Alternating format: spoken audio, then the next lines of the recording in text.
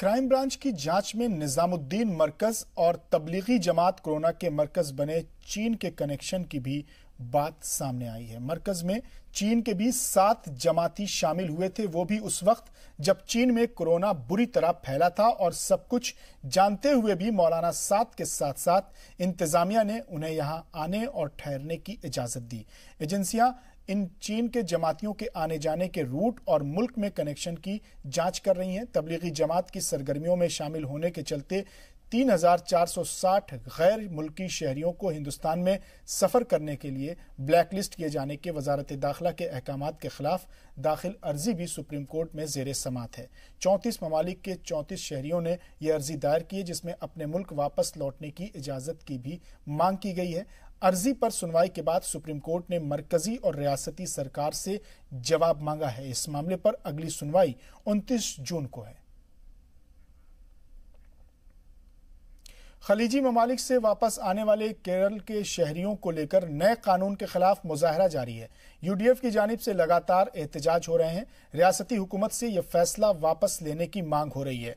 Party लीडरान का कहना है कि जब क्वारंटीन में रहने का रास्ता है तो फिर ऐसे कानून क्यों बनाए जा रहे हैं, जिससे बाहर मुल्क में रह रहे लोगों को भारी परेशानी होगी?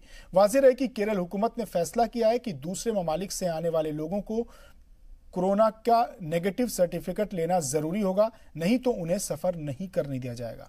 हुकूमत के इन्हीं कानून के खिलाफ यूडीएफ लगातार रियासती सेक्रेटरीट के सामने एहतजाज कर रही है।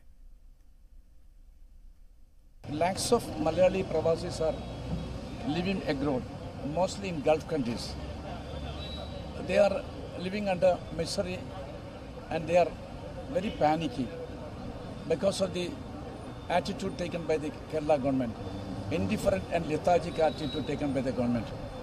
Government of Kerala promised that once they come back to Kerala, wholeheartedly they will welcome. They will be welcomed by the government. But unfortunately, government did not do anything. At the initial stage, they said that arrangements have been made to accommodate two and a half lakh Pravasis in institutional quarantine. When they started coming, this government again has taken a U-stand, U-turn. Then ultimately what happened? These people are put to difficulties and they are in a, not in a position to come back home. Most of them are, you know that around uh, 3,000 persons have lost their lives. Most of them are very healthy. And under these circumstances, every single Pravasi Malayali who is living abroad is worried about his future. His family is also equally perturbed.